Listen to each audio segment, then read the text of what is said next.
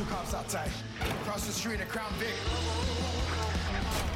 We're under siege. No, it was a rock. You've been made.